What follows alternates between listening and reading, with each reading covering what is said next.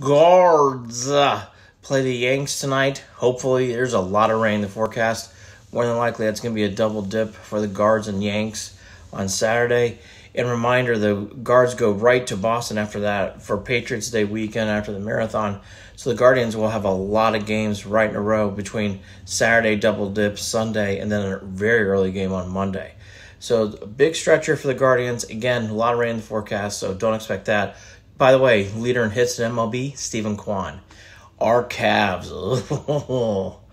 what a huge game tonight against the Pacers.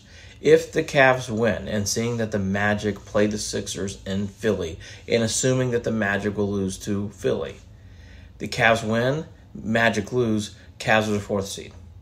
What a huge, huge mark. A, get a home court advantage, but B, the other scenario, Cavs lose tonight, assuming they beat the Hornets, Cavs more than likely will be the sixth seed to go up against the Knicks going to New York.